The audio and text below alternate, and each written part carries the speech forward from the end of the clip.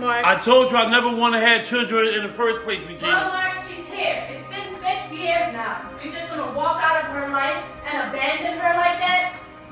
How do you think that's gonna affect her? I'm leaving. You said you wanted a child, and I gave you one. My job is done.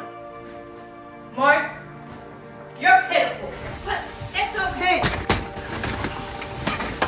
Drew will be just fine.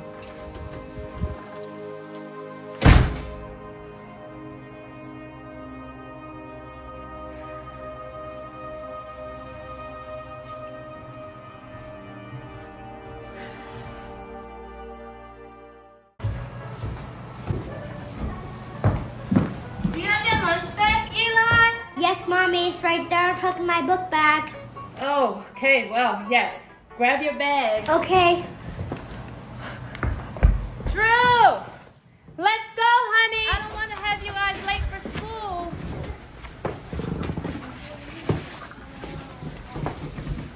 Mom, today's Friday. You're forgetting his bag. Oh, yeah. Thanks, honey. Eli, do not forget to get your book bag from out the office after school. You're going to your dad's house. Okay, Mommy. Just a little creep forget his bag like he always does. Stop teasing me. Mm. Drew, I told you to stop calling your little brother names. What's gotten into you lately? Maybe Alana shouldn't be here this weekend. No! Apologize right now. Sorry, Eli. Come on, let's go. We're gonna be late for school.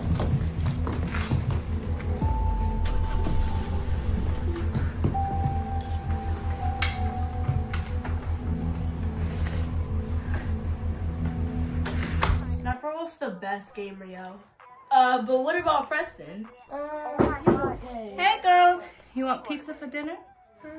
Yeah, sure. Be ready in five minutes. Mom, can we stay here while you leave? Well, that's fine. I'm only gonna be to the store 20 minutes max. Do not open the door for anyone while I'm gone. Okay, we won't. Okay, girls. Want to make slime? Yeah, but when my mom leaves, I have a better idea.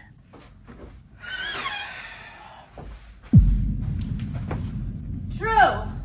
Have you seen my denim jacket? The last time I saw it, Eli was playing superheroes with it. My boy's always in my stuff playing superheroes. I'll be right back, girl. I'll get the slime and you get the glitter glue, okay? Alright.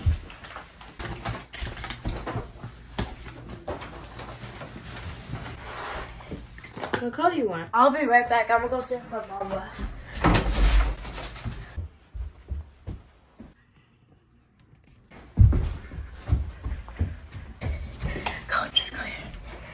You can't tell anyone what I'm about to tell you, but I've been taking my mom's stuff, destroying it, and blaming it on Eli.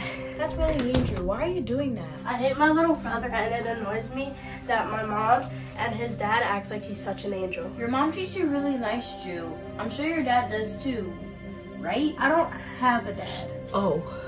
But anyway, come on. Where are we going? You're gonna take some of Eli's favorite toys that his dad bought him and trash them. That's not cool, Drew. I'm not doing that. Fine, I'll do it myself then, scaredy cat. I'm not scared. I just don't do stuff like that. Whatever. Come on. Eli goes to his dad's every other weekend and has fun while I'm at home bored. He gets new toys, and I bet you this time he's gonna come home with new toys and McDonald's. Drew, that's not right. I don't want you to get in trouble. These two, these are his two favorite toys that his dad bought him. Take them. And go see if my mom has arrived out the window over there. This is not right.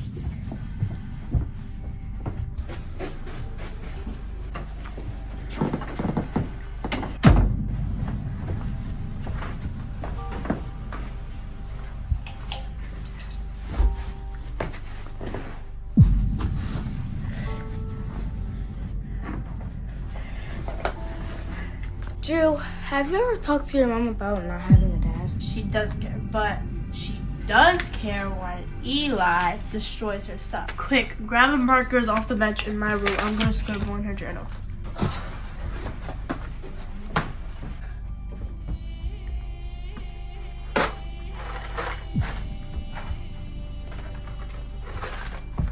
Here. Eli's favorite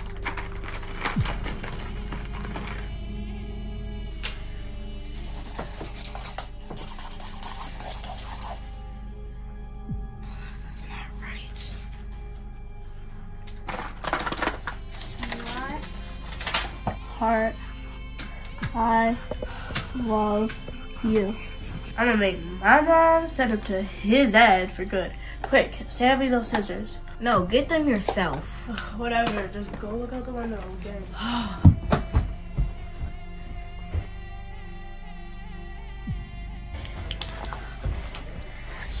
She's out there. Quick, grab the trash back down the Here.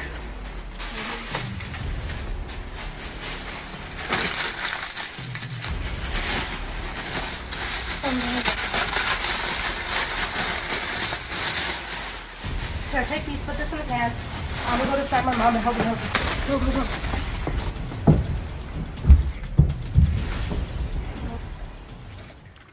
Hi, Miss Regina. Hey, sweetie. Come on, man, I'm think about this. Helpful today. Thank you.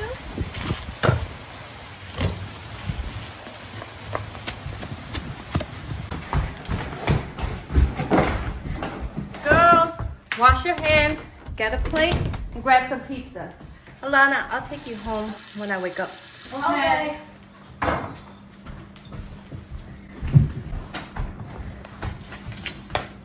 Thank you.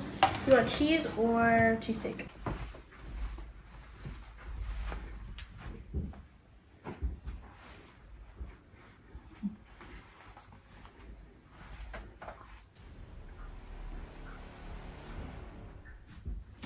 Don't blame me if you get in trouble. I talked to my dad, you know. Drew, have you ever talked to your mom about not having a dad? She does care, but she does care when Eli destroys her stuff. Quick, grab the markers off the bench in my room. I'm gonna scribble in her journal.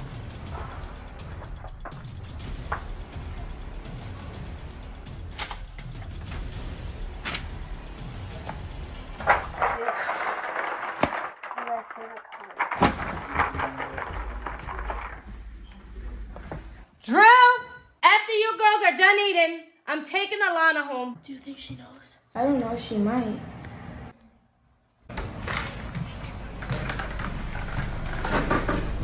Drew, come back down. Is there something you want to tell me? No. I know what you did today. And before you lie, there's a camera in my room that saw everything. I can't believe what I saw and heard today.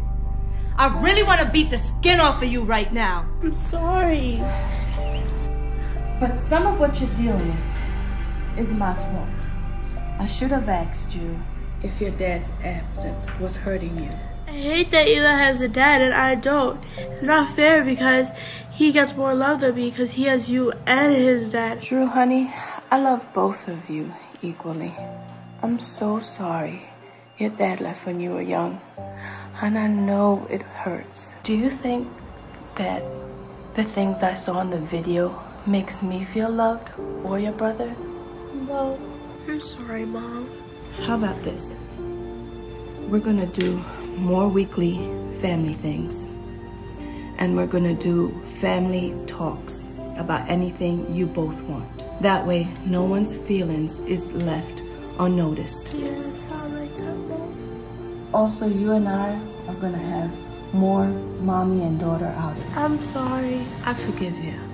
But you're grounded for two weeks and no allowance for one month. Give me a hug and a kiss, little girl.